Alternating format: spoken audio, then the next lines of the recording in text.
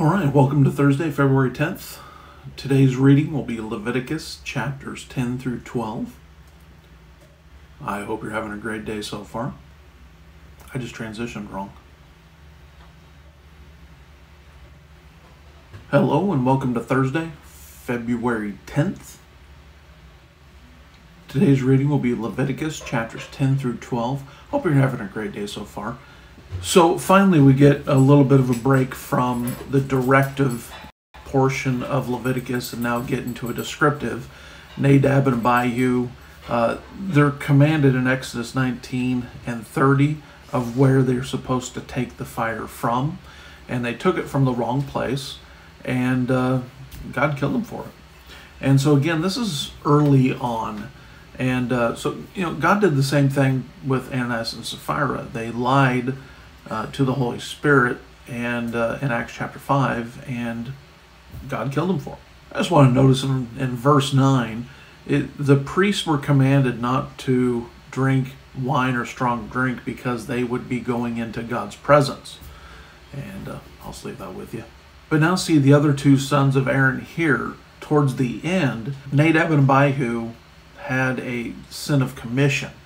Now, here was a sin of neglect. It was omission versus commission, and uh, just had a strong rebuke instead of death. Um, you know, it seemed like this was more out of ignorance, but uh, as we mentioned earlier, I believe there's a difference between uh, ignorance and sin. Chapter 11, we start talking about clean versus unclean animals, what can be eaten, what can't be. Uh, verse 19, remember we talked about this before sometimes gets mocked because God classifies a bat as a bird. Uh, remember, it seems to me that animals are classified due to their locomotion and not because of what glands they have that they feed their uh, young with. When Jesus and uh, the book of uh, Jonah seem to differ on whether it was a fish or a whale because we don't classify them the same, well, we can't make a classification system after the fact and then go back and mock God because his description doesn't fit within the classification system we made.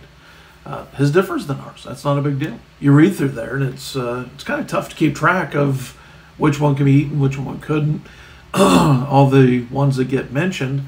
It's funny that only the pig is the one that people seem to have a problem with. Uh, can't eat rabbits either, but who cares to eat a rabbit anyways? Um, but no bacon, no pork, no sausage, no shrimp.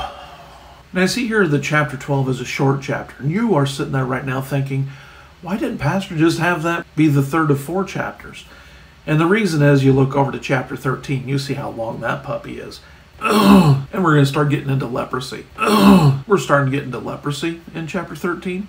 And uh, so I'm just not mentally prepared for that right now. The scabs and the colors and the pus and the hair. Did you notice down there at the at the last verse?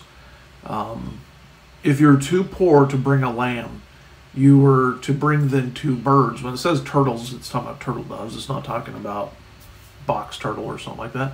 And uh, so if you're poor, you just brought two birds.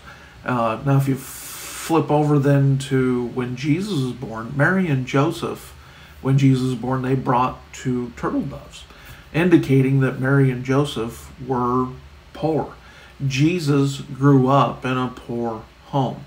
Now it's kind of interesting there. Joseph was the rightful king of Israel. Jesus was the rightful king of Israel. They are of the, the lineage of David.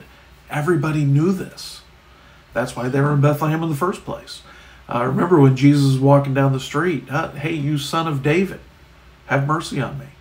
They knew who he was.